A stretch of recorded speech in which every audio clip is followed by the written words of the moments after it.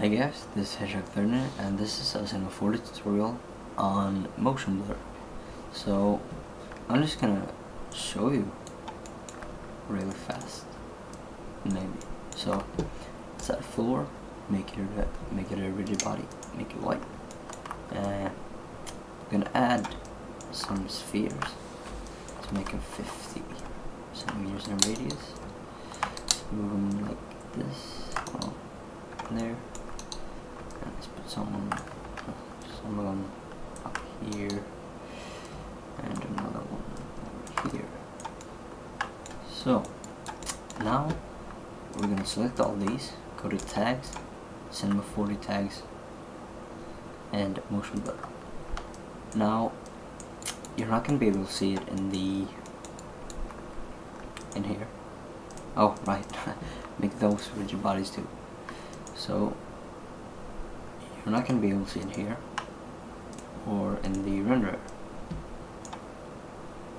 So I'm not gonna, really going to save this. I'm just to do this. Yes, on 20p. That's good. And but now this is this isn't all you have to do. Um, so you have to go into the render settings, go to Effect, and add Vector Motion Blur. And now you don't need to do anything here. You can change the samples, which is pretty much how nice the actual motion blur will look. So you can make this 512, 500 if you want. I like to do it by times 2 or yeah that kind of scale. So now we're gonna we're just gonna see how yeah that's good. So let's run this and I'll show you how it looks when it's done. So now it's done rendering and as you can see here it's yeah there's motion blur and you might not well you might not be able to see it um, just like this but well